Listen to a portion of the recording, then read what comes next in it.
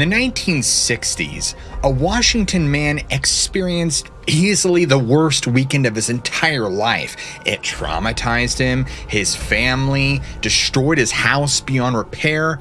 But the reason for all this chaos and destruction is something that's going to disturb you once you find out. You won't want to miss this one.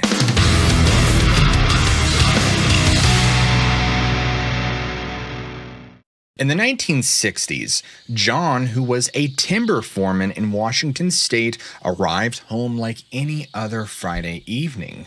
He was then greeted immediately by his four year old son, Timothy. Now that he was home from a long day of work, he would explain to his father that they had an unexpected visitor that day.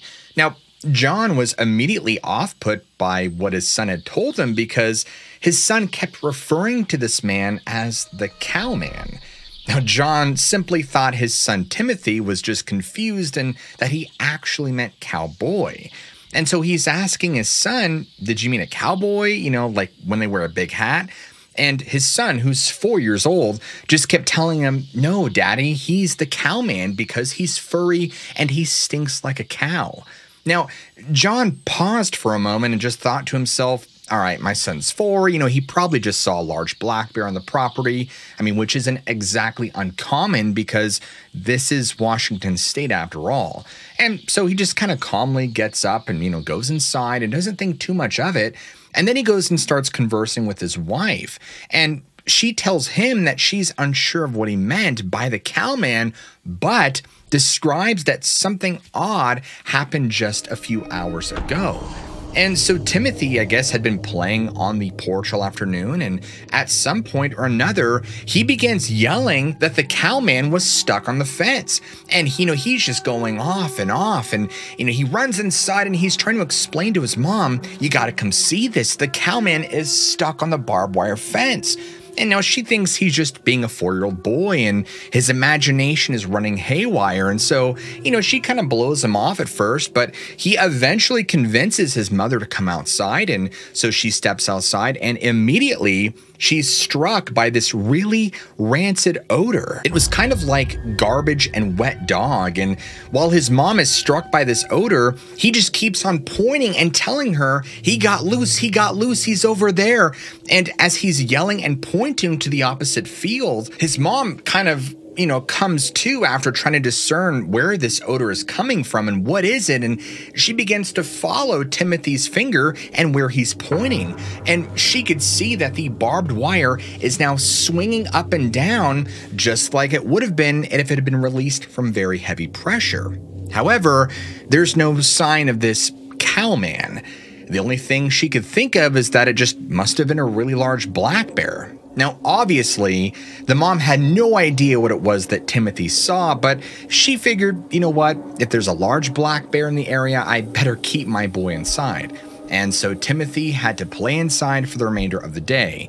Now, as John and his wife were conversing and discussing the potential dangers of having a very large black bear on the property and what it could mean for the safety of their children, John's oldest son, who was 12 at the time, John Jr., had just got home from a friend's house and he began telling his parents that on the way home, somebody was following him. And he explained to his dad that he never saw who it was, but that he could hear them because they were staying behind the trees and uh, doing their best to try and conceal their presence from him. And so once John's son had reached the driveway, whoever this person was had stopped following him altogether. And he could tell that his son was pretty shaken up about this because they live in a very rural area. And so for someone to come out here and hide away on their property, I mean, it could really only mean a small handful of things, all of which are very bad. Now, John realizes that he needs to now go scout the property and go take care of business because if there is an intruder, he's obviously not going to let them hurt his family. So he goes out, he loads up his 357, and now he's beginning to scour the property line and he's looking around for any signs of anybody camping out here or anything like that. And after scouring the area for a while, you know, he doesn't really find much, but actually comes across a really strange discovery. The strange tangle of stringy, long, reddish brown hair that was actually wrapped around the barbed wire. It was the same barbed wire fence that Timothy had pointed out earlier. Now, what was even stranger was just how stinky and thick and jumbled this was.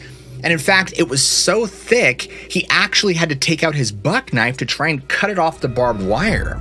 Now, as he's looking at this clump of hair, he could see there's actually what appears to be a little bit of flesh attached to it, and now he's completely unsure of what to make of it. It's very strange, but in his mind, he's thinking, you know what?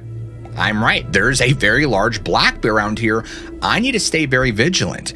Now, immediately, he looks below him and he's looking for any signs that this bear was around or any tracks, but again, he can't find anything. So Doing the best he can, he just heads back to the house and he shows his family this strange clump of hair that doesn't exactly look like the kind of hair that belongs from a black bear. The color's not right, it, it smells different. But again, there's really not much he can do about it other than just kind of write it off. So he just tells his kids, listen, just keep your eyes open, let me know if anything else strange happens, and I'll be right at your side. Well, the evening went along without any issues until around 8 or so p.m and John had decided that he was going to go patrol his property again and decided that this time he would bring his 12 year old son along with him. And so he's out there and he's armed and he's there with his son, and they're kind of just walking along the perimeter when they both run into this wall of stench. And it's exactly like his wife had described. And as soon as they hit this wall of odor, both John and his older son realize they're being watched. And now John, going into dad mode, is thinking that they're in danger, his son's in danger, and that something bad is about to happen. And so he's starting to really become convinced that there's not a black bear here, but there's actually somebody camping out on this property and they're looking for the right moment to break in and harm his family. Because it was summertime in July, the sun wasn't completely down yet. And so John realized that he really wanted to have daylight on his side if he was to try and face this person head on. And so he turns to his son and explains that they really should get back inside because it's getting dark. Now, John's son is getting pretty freaked out by this, and so they start heading back in the direction of the house. And at this point, they're roughly about halfway back to the house when both John and his son notice that Whoever this person is out there that's camping out on their property is now following them in the foliage off to their left.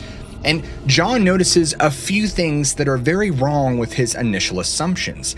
The first is that this person sounds much larger than any person he's ever heard. The footfalls alone are extremely heavy. In addition to that, he can only assume their intention was physical harm, considering how much effort this person made to remain concealed. Every couple of steps, this person would follow, and every time they would stop, it would stop. It's almost like an episode of Scooby Doo. And so John turns to his son and says, Listen, on the count of three, I need you to run like hell. And so he counts one, two, three. But John had a plan in place.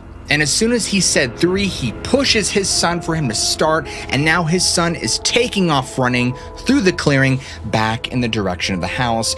And instead of John running with him, he whips around with his gun to face the foliage on his left, gun drawn and ready for the worst. And as soon as he does this, he can hear the footfalls heading deeper into the woods away from him.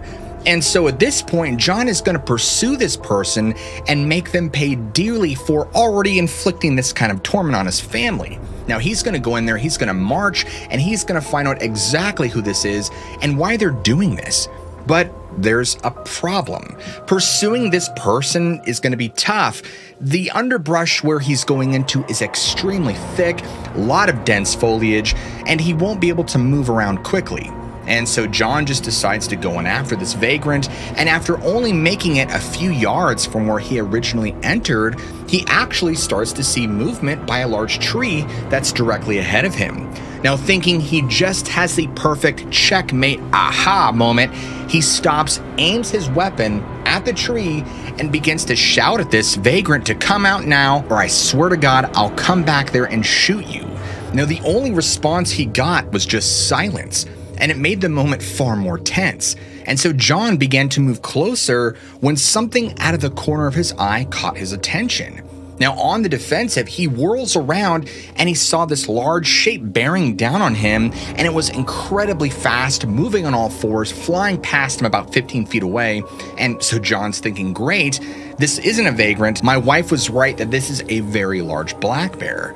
But that thought would soon change. This huge hairy animal stops right behind a small alder tree, and what John saw next shook him to his core, and then it made him realize that he was dealing with something that was far beyond what he ever imagined being just a bear. And so he kind of quickly snaps out of his shock, and as he realizes this large animal is now heading in the direction of his own house, he quickly kind of comes back to and runs back out of the foliage into the field or the clearing and hopes that he can actually intercept this animal before it ever makes it there in time. And the entire time this is happening, he could just hear this huge animal barreling down into the woods, just knocking over trees and foliage and just stomping around and making a ruckus. It was now noisier than ever. And as John broke out of the tree line into the clearing, he saw that his son, John Jr., had not left, but was actually there waiting for him. And so he's yelling at his son, What are you doing? Why didn't you go back to the house? And his son is just telling him that, Dad, I was worried about you. And he's saying, You need to get back to the house now. We're dealing with a large animal that we don't know what it is. And his son is really confused by this. And all of a sudden, this large animal burst through to their left, no more than 50 feet away on their left hand side, clears a fence, and John's son begins to run, but has a horrifying realization that his son and this animal are about to collide head on. And bam! This thing smacks into John's son, sending him flying 10 feet in the air, landing on the ground, the wind knocked out of him. He's freaked out. This large bear begins just fleeing back into the other side of the woods as John tries to take aim at this thing and tries to fire. Now, fortunately for John, he does land a few shots on this bear, but it didn't seem to have any effect as it fled off into the woods. Now, as soon as it vanished into the tree line, John runs over to his son and makes sure that his son isn't hurt. Now, obviously, he's pretty shaken up. His son, just from the experience and getting knocked 10 feet in the air, and realized that the bear on the property is going to be a lot more of a nuisance than they had ever originally planned. And so John just holds up his son, kind of gets him back to his feet, drags him back to the house, and obviously, at this point, his wife and his youngest son, Timothy, are both completely shocked by everything that's happened now. And so John's wife is screaming at him. She's making demands to know what was happening and why there was screaming, why was there gunshots, what is going on. Now she's convinced that John and John Jr. were being attacked by a group of men or maybe a wild animal, they don't know. So John doing his best to try and just, you know, ease the situation, he just began to tell his wife that there's a very large bear outside and that he had everything under control and, you know, it was it was fine. But as a safety precaution, he went and told her to go lock all the doors and windows, and then he goes and grabs the phone, calls the sheriff, and then immediately hangs up. Now, you can only imagine at this point how John and his wife felt about letting their two sons outside after knowing this large bear was lurking around. And so, as the night progressed further, it got to about 10 p.m., and John and his wife began hearing this this strange sound coming from outside that they could not identify. Now, John was already pretty familiar with a lot of the flora and fauna and just general wildlife noises in the area, but what he was hearing just didn't make sense. It was this loud, almost sorrowful kind of wailing that was similar to that of a siren of a fire truck. It would just had this animalistic quality to it that he couldn't accurately pinpoint but he made a disturbing observation about the noise and that it was coming from across the field by their home and then it ended in a series of whooping noises. Now, John's wife was completely terrified by the sound, and her eyes are wide, and she's freaking out, and she's asking her husband, What the hell is that? And this, my friends, is when John decides to spill the beans. He turns to his wife and, with the most serious, stern expression, tells her that this is the cowman that Timothy was talking about. he told her what he saw in the woods earlier that evening out at that alder tree and explained to her that this clearly was anything but a bear and that it was over seven feet tall and it was enormous, and that it was still too dark because they were in the foliage to really make out all the specifics and every feature and detail. He was able to see that this thing had deep red glowing eyes and could see these kind of dark teeth and swore that the lips were curling back and whatever it was was able to alternate between two and four legs before quickly lurching over and pushing back on a tree with so much force that when it let go, it snapped, crashed into the trees around it, and after hearing this, his wife was obviously terrified. I mean, they realized that the cowman is not only real, but it's something that could be potentially far more dangerous than any black bear. All the more reason why he hung up on the sheriff's department immediately and they were unsure of what to do or how to proceed with anything. Now, as the night continued to progress, the strange siren noises would continue on and off, and finally, at about 1 in the morning, John, who had been working hard all day, was just completely exhausted. And at this point, the man could barely keep his eyes open, and so he just completely crashes out. Now, the next morning comes, and it's like nothing ever happened. Everything seemed completely fine, and so John and his wife were beginning to think that whatever this animal was was probably just passing through the area and that everything would be okay. But it wasn't until a little later in the morning when John made a terrifying discovery about the previous night. During a commercial break in their Saturday morning cartoons, both the boys began telling their father that a large bear had been rubbing up against the house during the nighttime. As John Jr. began explaining to his father the strange sounds he was hearing that night were actually coming right outside the house, John began to realize that things were about to get far worse for him and his family. And Timothy then would speak up and would say to both his parents, You know, the cowman, he just, he talks funny. And of course, John just froze mid thought and he looked over at his son Timothy and began asking him, When did you talk to the cowman? And, you know, Timothy, being four, not even realizing the danger of the situation, just calmly told his dad, Oh, you know, last night in my room. And now John is thinking that this thing is in my son's room. And he keeps pressing for more information and he asks his son, Was it in your room? And his son is just pretty much like, Dad, no, he's too big for my room. He was talking to me outside my window. And he just kept telling his dad, yeah, he talks funny. And, and he explained to his dad that the cowman kind of talked, you know, like this, ooh, ooh, ooh. and it kind of sounded like, you know, monkey like chatter of some kind. Now, for all of you out there watching this, and if you have any kids of your own, you could probably imagine John's level of anxiety at this point, thinking that your precious child is about to get snatched. And so he keeps pressing for more answers as to what this cowman was doing outside his son's window.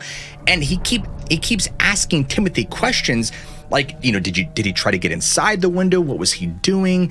And at this time, you know, Timothy was glued to the TV because the commercials had ended. And, you know, he just kept smiling and told his dad that, oh, you know, dad, he's too big. And, you know, he kept making a very interesting comment about his facial expressions and his teeth. And he explained to his father that the cowman had what he would describe as Lincoln long teeth and that he was making funny faces through the window. Now, at this point, John is literally overcome with fear, anxiety, nausea, just about every negative emotion you could possibly muster. And as a father, he's trying to think in his mind how is he going to keep his family safe? He doesn't know what to do. So, after doing a safety check and looking outside the house and just trying to check all the windows and doorways, and, and so he made the decision that he was going to go ahead and send his wife and children away to their uncle's, who was located out in Elma just for the day because he had work to do. He had to ensure that their house was fully operational and that it was safe, and he wasn't going to stop till it was done. And so, after sending his wife and kids on their way, feeling a little bit relieved that now they're not in danger anymore, he decided to go ahead and call a close friend of his who would hopefully help him out in the situation. And so, John decided to pick up the phone and call his friend Patrick, who at the time was actually one of the men that was currently under his supervision at their timber operation and he would trust Patrick because he had proved to be a very good, hardworking man and was also a former state patrolman. And so, after calling Patrick up and telling him, hey, can you kind of come by my house and stop by? I really need help with something that I really can't tell you about till you get here. And so Patrick, not really knowing what that is, decided to stop by and he knocks at the door. John opens up and asks him, Are you ready for some hunting? And this is when John sat Patrick down and explained to him the entire series of events that had happened up until this very point. Now, Patrick was very confused, but obviously understanding just how serious and honest his boss, John, was. And he knew that he was morally obligated to help him do something about this and protect his family. So he goes out to his car, fetches his 38 for safety, and comes back to the house. Now, John then offered him a shotgun, takes his pistol, and a bolt action 30 6, and they began tracing the entire exterior of the home. Now, this is where both of the men would make another terrifying discovery, as if this entire episode so far hasn't been anything but that. Now, they find a large footprint in the mud right near the rear of the home, and it was clearly the largest footprint John and Patrick had ever seen. Its dimensions alone left both men completely awestruck. It was at least 18 inches in length. And next to it were four lines in the mud that clearly resembled finger marks, and these went on for probably about 8 inches. It looked like something had drug four of its fingers in the mud. But it gets worse. They go outside to where Timothy's window is, and they're examining around the area. And John realizes that whatever this animal was didn't just pay his son Timothy a visit. No, no. It had actually bedded down in the grass outside his window as if it was waiting for the best opportune time to plot against Timothy in some way, maybe grab him. On the top of the window frame were streaks of mud and dirty fingerprints, and there also appeared to be quite a bit on the glass as well. And at this point, Patrick was really kind of having this oh crap kind of moment because he's realizing, oh my gosh, John, John's right. Now, I can only imagine the hesitation that he was dealing with in that moment because he's realizing this isn't a bear that we're dealing with here. I don't know what it is, but it's not a bear. And now their next step was to actually go and investigate into the surrounding forest. But before doing that, John instructed Patrick that they actually first needed to go and take a visit to the pigs because John still had to feed them. Now, to understand the layout a little bit better, their pigsty was actually located 100 yards away toward the back end of their property, which was right behind an old barn. And so John and his family owned pigs, and these two pigs could often be heard shuffling around and grunting and squealing, even more so when they knew it was time to eat. And so John and Patrick, you know, they would make their way over there in conversation about what was happening and what this was and what they were going to do. And John thought it was extremely strange that as they were getting closer, they didn't hear any noise at all. As they were coming around the corner to the pigsty, they realized it was completely empty. Now, John, who's already very nervous at this point, can't fathom how these two 40 pound pigs had escaped their pen. They both immediately go around, they're scouring the area, they're looking around and inside the barn, and there's no trace of them anywhere someone or something had to have clearly taken them. This made John very angry because now not only was his family being threatened, but he was being robbed of his way of life and potentially a food source. And as him and Patrick began to march into the woods, the same area where he had his experience the night before, he was actually able to show Patrick in broad daylight where it happened and what happened. And because the lighting was a lot better, Patrick could clearly see the depressions that were left in the floor of the forest that showed something really large had been tromping around. And so both men would continue to kind of just scour around the area, but they didn't find or see any signs of anything. They didn't hear anything, they pretty much just turned up empty handed. Now, at this point, John was feeling pretty defeated because he's really banking on capturing or killing this animal, but he had no idea where it had gone. And so, after a while, both men got pretty hungry and decided it was time to go back to the house to get some lunch. Now, the rest of the day after that proved pretty uneventful. Both of them scouring the property after lunch, but like before it, there's nothing, no sign of it anywhere. And so around the evening time, his family comes back home from being at his uncle's place. And John is completely defeated at this point by the lack of progress for the day and just tells his wife they tried, but they couldn't find anything. But John wasn't ready to give up yet.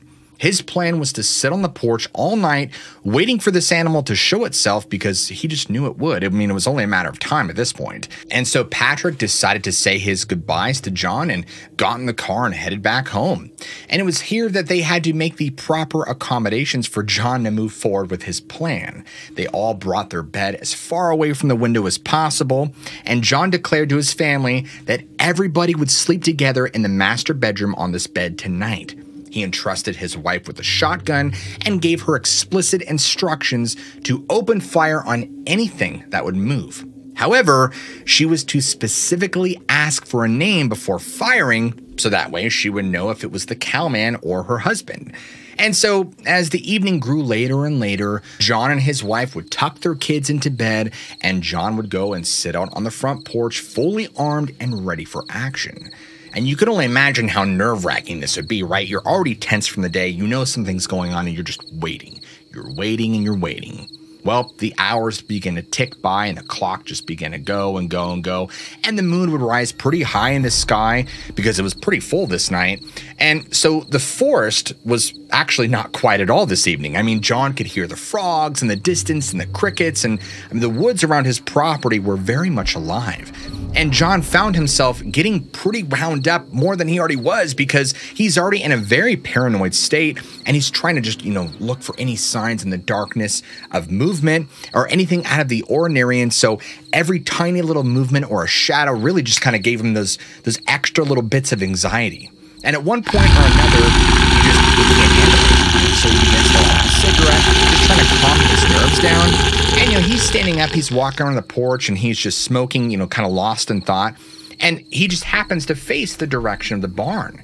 And he's just kind of like losing himself in his own thoughts. And as he's sitting there holding a cigarette, you know, just puffing and the smoke's kind of coming out in front of him, he begins to look over in the direction of the barn. And the more he looks at the barn, he realizes that something is off. That the front door was left wide open and because of where the moon was in the sky, it was actually spilling light partly inside of it.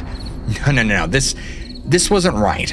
And so he kind of snaps back into reality for a moment and out of this trance and, and realizes that something's out of place here. And it's not so much just what he had seen, but now he notices that all the sounds around him of the night had gone quiet.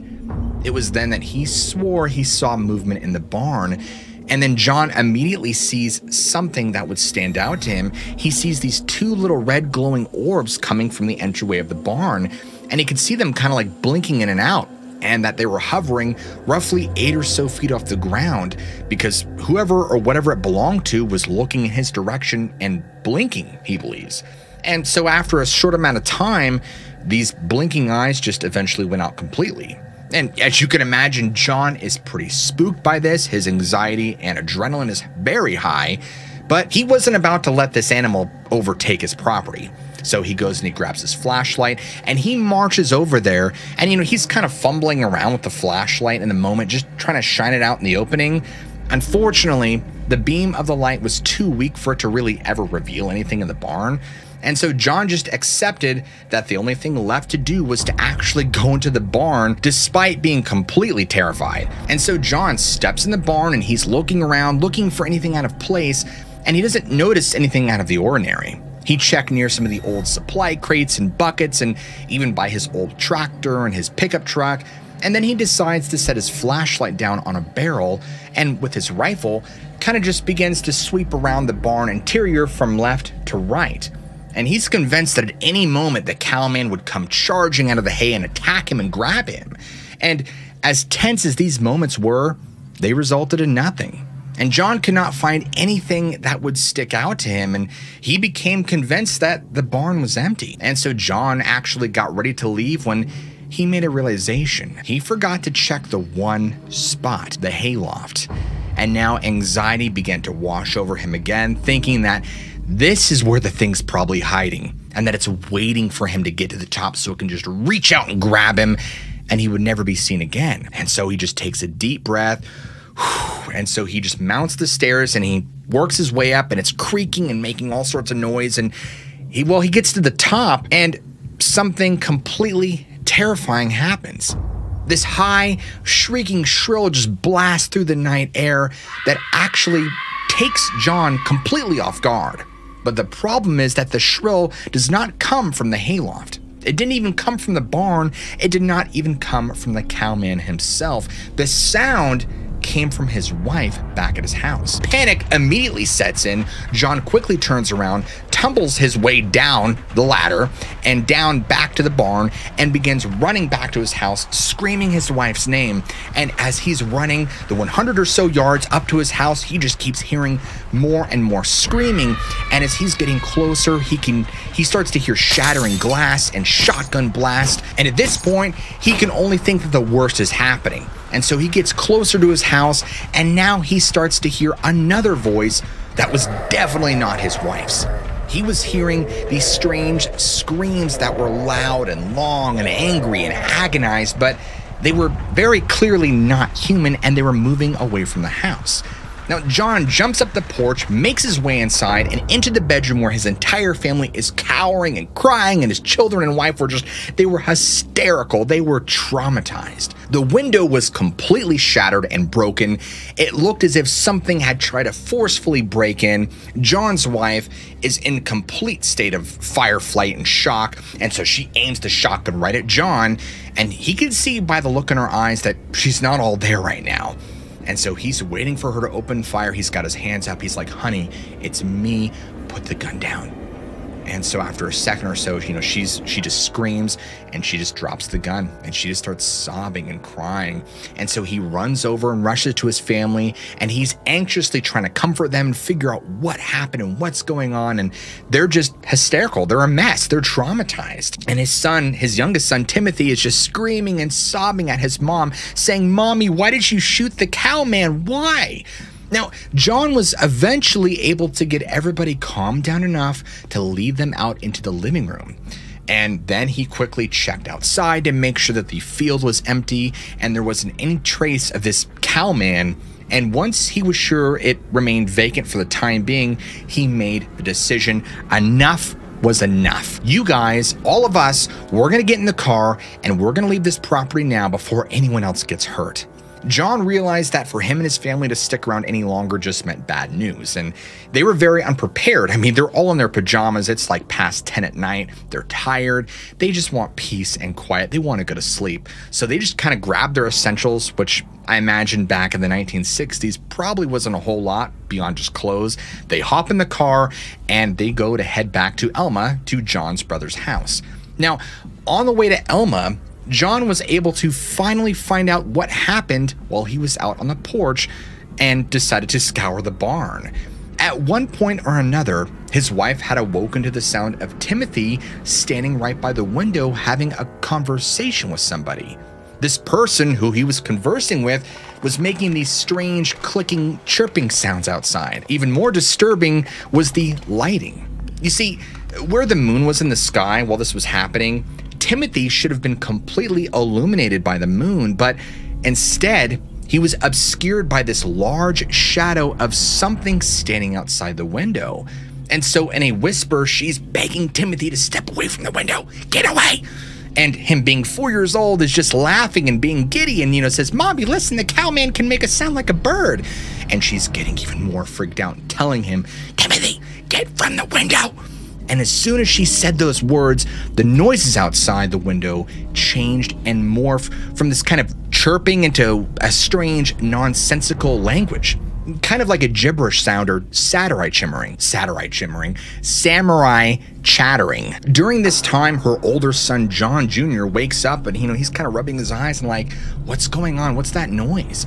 And as this happens, whatever was outside the window now turns its attention to John Jr. because it heard him ask that question and begins pounding on the house with its fist, causing the entire house to now shake violently.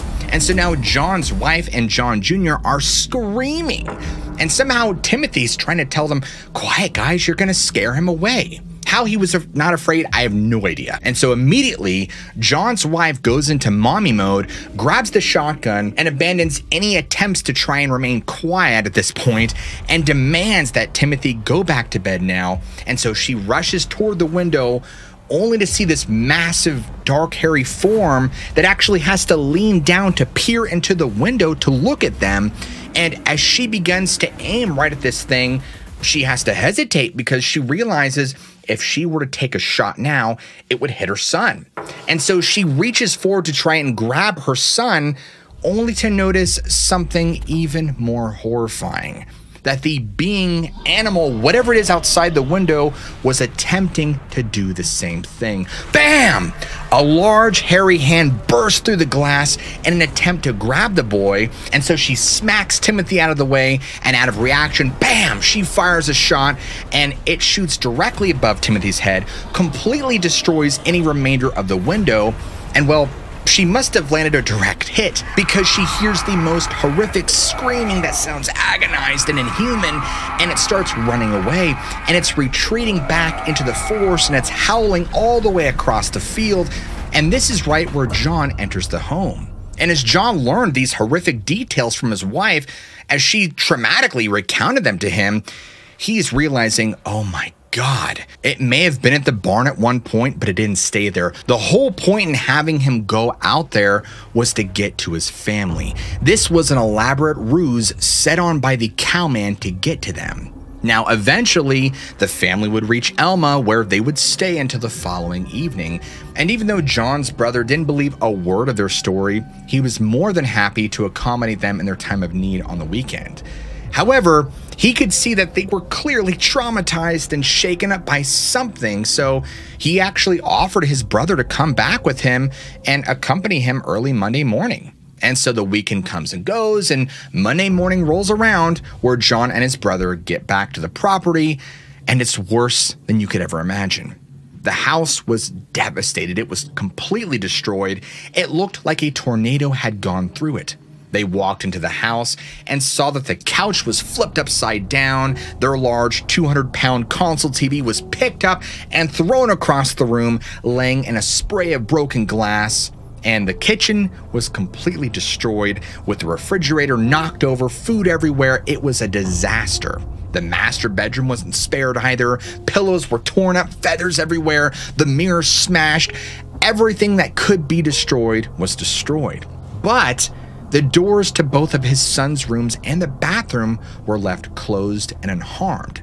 Now, I don't even know if there's a word or expression to possibly describe the emotions John must have been feeling in this moment. To go through the traumatic events of seeing his family suffer like they did, and now to come back to see their only livelihood now in shambles, there probably really wouldn't be much words to say, honestly. John's brother, who's now very disturbed by seeing all of this, he's telling his brother, You need to call the police now. And all John could really do was just kind of like mockingly respond to him and say, What? Tell him a monster destroyed my house? Yeah, that's going to go over well. I mean, John's kind of right. And so, after looking over everything to see if there's really anything untouched, John and his brother drove to the timber mill located in Aberdeen, where John worked as the foreman. Now, as soon as John makes it onto the job site, he's several hours late, mind you. John's boss, who ran the entire operation, immediately acknowledged that there was something very off with John. John was a very trustworthy, no nonsense kind of man, extremely hard worker. I mean, there is a reason that his boss entrusted him to be the foreman. And so it was very unlike him and out of his character to show up several hours later, sleep deprived, unprepared for the day, and clearly traumatized after the weekend's events. And so John's boss thought very highly of him.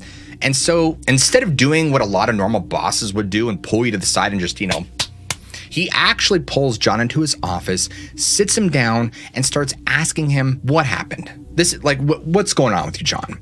And so John just starts telling him exactly what happened.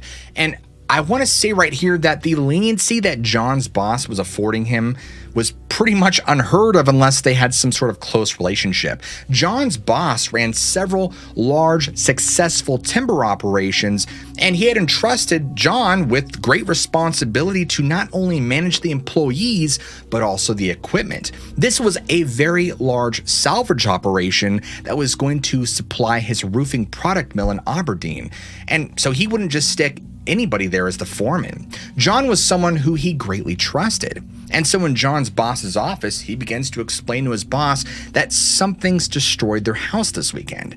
Now, at first, his boss thought he said someone and not something. And so he's asking, Do you know who it was? Have you called the police? Like, what's going on? And all John could say was, You don't understand. This wasn't a person. He didn't know who or what it was, but it completely trashed the house and he would begin to tell him more details about the horrific weekend he had and that it resulted in the family going to stay with his brother and Elma for a little while until they can try and figure out their life from here. And so after John had finished telling his boss everything that had happened, he expressed to him that, hey, my brother's still out in the car waiting for me. We got to go get to Elma. I'm clearly in no condition to work at the moment. And so his boss actually wanted to go and see the damage for himself. I mean, his boss was kind of thinking that maybe the foreman he hired now had completely lost it. There had to have been some sort of sense of rationality here somewhere, right?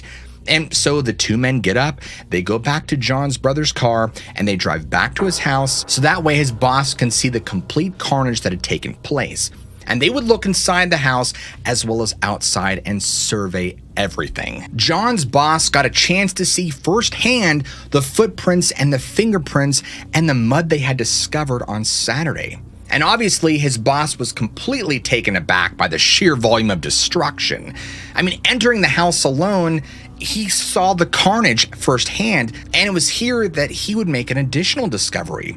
Up on the ceiling were these large cracks that would imply that something had actually tried to stand up in the house, only for it to hit its head with incredible force. Now, it was clear that at this point, the house was damaged beyond repair, and even if there was any hope in repair, I mean, there's no way an insurance company would pay for this. We all know insurance companies have been scumbags about paying for stuff or trying to get out of paying for things. They wouldn't help this poor man out. Absolutely not. And even if they would have, at this point, his family is so traumatized, there's no way that they would continue to stay here. And so John's boss wasn't sure what to make of John's story, but clearly something out of the ordinary had taken place that had now resulted in his family's homelessness. The only thing that John's boss could conclude is that he believed John was firmly telling the truth. The damage that had been done to the home would have been impossible to have been done by a human being. Not to mention just how shaken up and traumatized John was from the events.